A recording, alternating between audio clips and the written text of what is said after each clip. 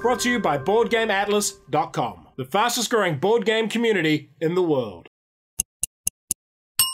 Kia ora and welcome to Cloudspire in about 3 minutes. Review copy used. There is a solo mode, complete with a solo scenario book. It's a game for 1 to 4 players, playing time is medium, and it's a pretty complex game. They who control the source controls Ankar, a realm of floating land masses and warring factions. Can you master the terrain, harness the source, maneuver your forces, and build a mighty defensive fortress? Or will the enemy smash your gates and ruin you? Cloudspire has solo, co-op, and competitive modes of play, but generally you win if you smash your opponent's fortress gates while keeping yours protected. Action programming. Many units in Cloudspire move along pre-planned paths. Asymmetry. Each faction has totally different units and fortress fortress upgrades. Player turn. Each player has a fortress board which shows their upgrades as well as a reference sheet, along with a stack of different units they can deploy. Units are double-sided and have health, damage, speed, recruit cost, rewards for defeating them, and special abilities. There are also range, damage, and defense upgrade tokens that can be added to some units. Units come in three types. Heroes who move independently, units who move on pre-programmed paths, and spies that don't move at all. The round starts with an event card being drawn and played. Then each player gains Source. On turn 1 this is 5, but by turn 4 it is 11. Source is used in the market phase to buy terrain tiles or mercenaries, and in the build phase to upgrade your fortress. The cost for each upgrade is shown on your reference card, pay the cost and place a pin in the board to show the upgrade. You can also build spires on source wells you control, including the ones in your base. Next you recruit using command points, which is the same base number as source you just gained. Here we have a zero cost hero and 5 points of units, and we add health markers under each of them. We can choose to stack one unit under another to protect it like so. Once that's done, we place our ready units on the gate and then nominate which opponent we are moving towards. Units will move their speed down the path to your target. If they come within range of an enemy spire, it can attack, rolling a number of dice equal to its attack tokens. For each hit, remove one health from a unit. If you are beside an exploration marker, you can choose to look at it. This may lead to a fight, but once the token is removed, you may be able to build a spire on that spot. Next comes your combat. Our unit has 3 range, so it can attack the grey unit for 1 damage, or the spire, removing its bottom token. On your opponent's turn,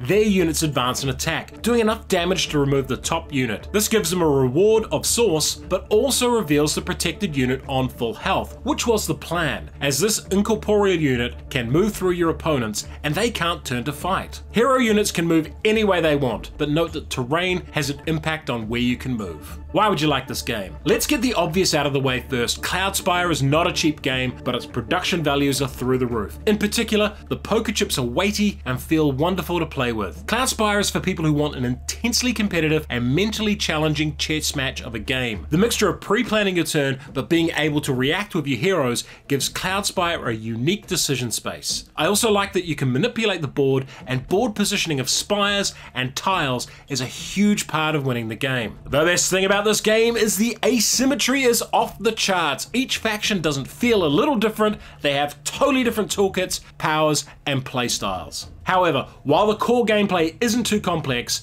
the number of exceptions and special rules are a handful. It's hard to remember what your own unit skills are, let alone your opponent's. The learning curve is steep. Like the idea of defending against swarms of attackers? Try Dawn of the Zeds. And want something a lot simpler? Try The Captain is Dead, Dangerous Planet. Cloudspire, I now know what a MOBA is. If you enjoyed this video, hit the notification button, support us on Patreon, and check out our website.